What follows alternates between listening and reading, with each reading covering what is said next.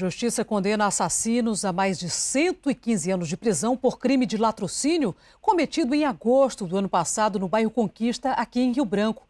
Durante o assalto à residência, a adolescente Luana de Souza Freitas foi atingida por um disparo de arma de fogo e foi a óbito.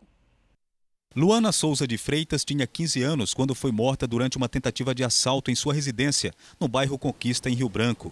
O crime aconteceu no dia 28 de agosto.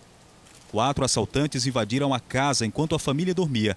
A adolescente acordou assustada com a presença dos criminosos. Um deles atirou em Luana, atingida no tórax. A garota não resistiu.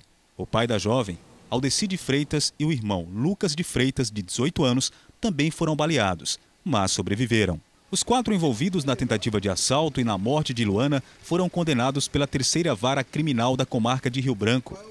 Somadas, as penas chegam a mais de 115 anos.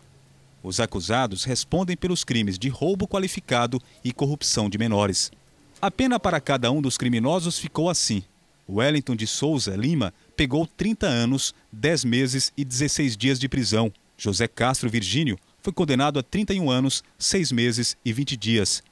Jefferson Castro da Silva foi condenado a 39 anos, 10 meses e 20 dias e Bruno Souza da Silva, condenado a 13 anos, 5 meses e 10 dias. Para o delegado que investigou o crime e botou os criminosos na cadeia, a justiça foi feita. O fato foi elucidado por completo. Todas as pessoas que cometeram o crime foram indiciadas, inclusive o adolescente, que não, não entra nessa pauta de condenação por quanto é, é, seja adolescente, menor, então é outra justiça, justiça da infância. Então a justiça foi feita, né? São penalidades altas, até porque o crime em si é um crime, é, é, é o segundo maior crime aí do, do, nosso Código Penal, né? Que é o latrocínio, né? O roubo seguido de morte. Aqui na residência da família, no mesmo local onde aconteceu o crime, a família recebeu a condenação com serenidade, mesmo porque não há motivo para comemorar.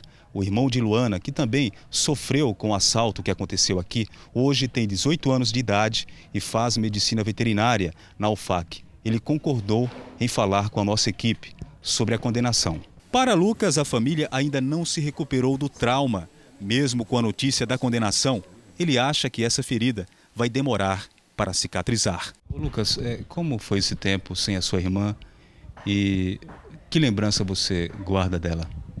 Olha, você pode perceber que até eu falando do caso eu fico meio, meio abalado. A, a voz trava, porque, tipo, uma pessoa que você conviveu a sua vida toda, que você tem um laço afetivo grande, né? Que você imaginava que você teria aquela pessoa pro resto da sua vida ao seu lado. Assim como eu, tipo, tenho métodos de construir uma família, é, de me graduar, eu imaginava minha irmã se graduando também, construindo uma família, entendeu? Todo aquele laço, todo aquele ciclo que a família deve ter. E a partir do momento que aqueles agressores algozes entraram aqui dentro da minha casa para fazer isso, de certo modo distorceu, né? A família nunca mais foi a mesma. Não, não tem como ser, né? É uma coisa assim que pode amenizar com o tempo, mas a lembrança daquela pessoa querida que era minha irmã. Uma pessoa sensacional. Um anjo vivo, né? Pode-se dizer assim. Que a minha irmã era uma pessoa muito carinhosa comigo. Então, é, nunca vai cicatrizar aquela ferida emocional, mas pode até amenizar, entendeu? Mas sempre eu vou sentir falta dela. O juiz da comarca de Chapuri decidiu na tarde desta quarta-feira remeter o acusado Elivan Veros da Silva a julgamento no tribunal do júri. Ele será submetido ao conselho de sentença em duas ocasiões. O primeiro júri, no dia 17 de junho, será pela acusação da morte da adolescente Janaína Costa. Já no segundo, no dia 1 de julho, em virtude da prática do crime de homicídio qualificado do delegado de Polícia Civil Antônio Carlos Marques Melo. Elivan da Silva continuará preso até a data em que irá a júri popular.